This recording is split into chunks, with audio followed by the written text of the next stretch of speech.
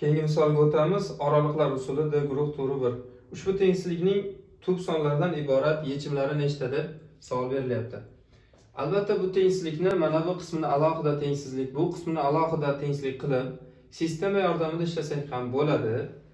To'g'ri yo'l. Odatda shunday qilingan bunday misollar. Ammo aynan shu misolda mahraj doim musbat ekanligidan unumli foydalanishimiz kerak. Ya'ni mahraj doim musbat bo'lsa tengsizlikda ko'paytirib yuborish mumkin.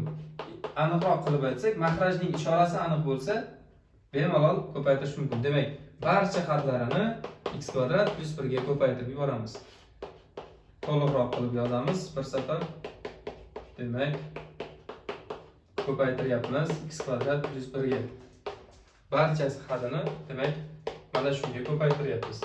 Maqsad nima desa maqsad oddiy. Maqsad oddiy. Mana buni mahrajni qisqartirib 16 x kvadrat minus 4x plyus 16 katta 4x kvadrat plyus 4 kichkina 15 x kvadrat plyus 15 ko'rinishidagi bunga nisbatan biroz bo'lsa-da soddaroq ko'rinishga keltirib olish. Endi baribir mana bu qismini alohida sistema qilamiz. Avvalgisidan farqi unda kasrli bo'lar edi biroz noqulay. Bunda oddiyroq ifoda ko'rinishda bo'lyapti. Demak bu qismini alohida yozib olamiz 4 x kvadrat plyus 4 kichkina 16 x kvadrat minus 4x plyus 16 va 15 x kvadrat plyus 15 bizda katta mana shu ifodadan. Bu bizda sistema bo'ladi chunki qo'sh tengsizlik sistema ma'nosini ham bildiradi. Demak hammasini bir tomonga o'tkazamiz.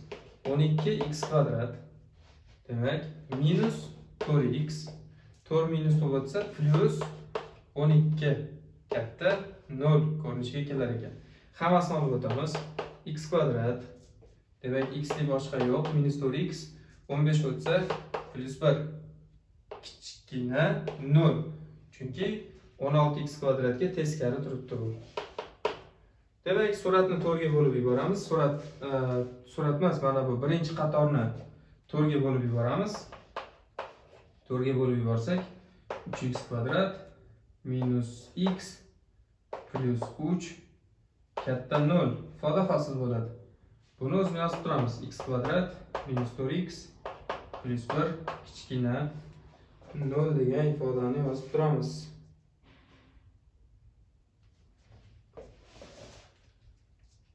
Demak birinchi kvadrat uch hadimiz avvalgi misollarda ham aytgan edik diskriminanti manfiy va bosh koeffitsiyenti musbat bo'lganligidan bu doim musbat bo'ladi va noldan katta bo'lishiga demak hech qanday ziddiyat yo'q. Barcha xlarda noldan katta bo'ladi. Demak sistemamizni birinchi qatoridagi tengsizlikni yechimi x tegishli r bo'ladi ya'ni barcha sonlar. Keling shuni minus cheksizlikdan plyus cheksizlikgacha deb yozaylik. Demak birinchisini javobi barcha sonlar bo'ladi chunki barcha x lardan noldan katta bo'ladi. Negaki diskriminanti manfiy bosh koeffitsiyenti musbatligi uchun desak ham bo'ladi. Mahrajga kelamiz. Mahraj qachon noldan kichik bo'ladi? Bu demak irratsional ildizlar yordamida hal qilinar ekan. Demak ildizlarni topib olaylik. Mana shu yerda diskriminantimiz 16 minus 4 bo'lyapti 12 bu degani 2 ildiz ostida 3 ning qavs kvadrati degani.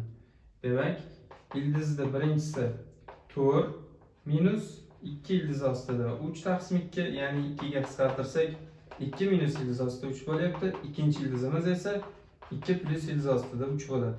Ildiz topib oldik. Demak bu misolimiz x minus 2 minus ildiz ostida 3 x plus yo'q bu ham minus uzr 2 plus ildiz ostida 3 ko'rinishida va noldan kichik bo'lyapti. Demak mana bu qismini ajratib qo'yamiz. Demak misolimizni davom ettiramiz.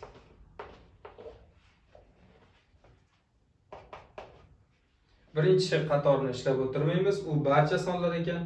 Mana buni ishlaymiz. Demak bu orollar usulidan bilamizki mana bu son bu sondan kichikroq shuning uchun chap tomonga joylashtiramiz. Bu qandaydir?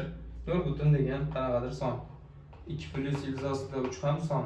Orollarga ajratamiz va biz bilamizki turli xil metodlar yordamida mana bu qismi musbat mana bu qismi manfiy mana bu qismi musbat bo'ladi. Bizga bu ifodaning noldan kichik qismi qiziq bo'ladi. Mana shu oraliq bizni qiziqtiradi. Demak birinchi tengsizligimizning yechimi barcha sonlar ikkinchisining demak shakllanmashtirib mana bu holatga olib keldik yechimi bu oraliqda ekan. Barcha sonlar bilan mana shu oraliqdagi sonlarning umumiy qismi mana buning o'zi bo'ladi. Chunki barcha sonlar bo'lyapti birinchisi ikkinchisi bu bo'lyapti. Demak mana shu qism misolimizning yechimi bo'ladi. Savolda bizda nechta tub son tengsizlikni yechimi bo'ladi? deyilgan bu yerda tub son faqat adashmasam faqat ikki va uch bor.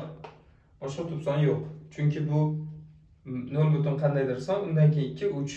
Bu to'rtdan demak kichikroq son. Demak shu yerda to'xtaymiz. Ikkita tub son bo'ladi. Misoli javobi b javob bo'ladi.